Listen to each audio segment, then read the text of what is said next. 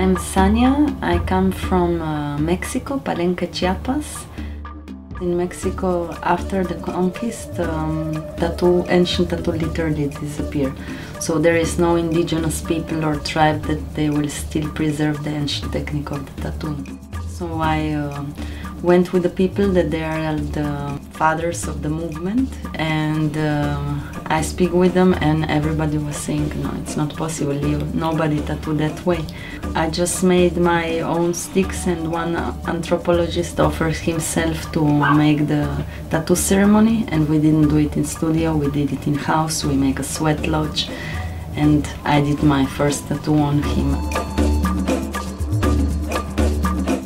techniques. I start with the long sticks, with the um, today known technique tebori, that uh, you know, usually use the Japanese.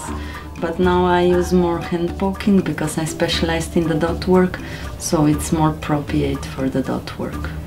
It's not only the revival of the ancient techniques, but the revival of whole procedure of the ceremony of the tattooing. So for me, tattooing is the medicine and um, symbology um, need to be like positive always and um, I start uh, with all kind of the images and uh, symbolism but today I focus more to geometric art because geometry don't have the borders it's all over the world it's the same so uh, and also it's much more easy to fit it in the body lines and to go with the anatomy of the body.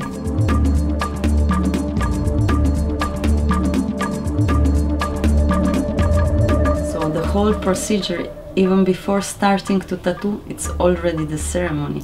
Because for me it's like feng shui, when you move the things in the house, the same it's this intention to move something not only physical but also uh, spiritual uh, in this life. I live in the in the jungle, in uh, close to archaeological place in the reserve. I don't have no house around. A lot of uh, animals comes, monkey, birds.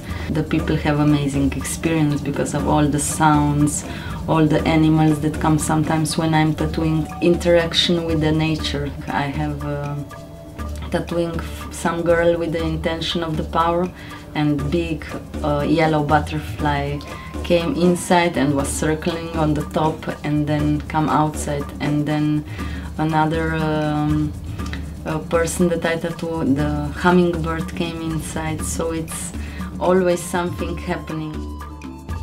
Karolina first time uh, I met her it was on the internet because I put something to search and I was like, who is she? She looks like my sister. who is that girl? And then I met her for the first time in the Frankfurt Tattoo Convention and we spent some time to the, together in Indonesia in the tribal tattoo meeting. So there we get really much more close and uh, we keep seeing each other. In Sochi Xochitl Tlasocamatli Wilmia Ometeotl. Nahuatl, it's the Aztec language. It means uh, we leave only the flowers and, uh, and um, songs and thank you very much for everything. Ometeotl, it's like the great energy, the creative energy.